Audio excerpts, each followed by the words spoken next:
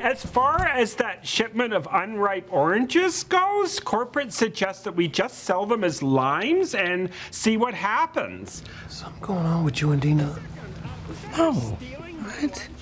No. I don't know, man. You guys are exchanging little peekaboo glances, and it's making me uncomfortable.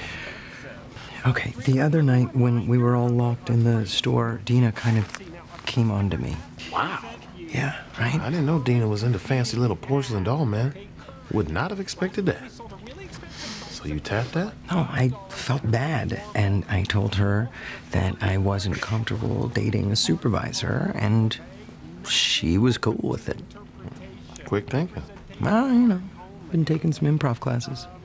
While we haven't caught the raccoon yet, I do feel that we're starting to have a better understanding of his patterns. Moving on, uh, one final announcement from Dina.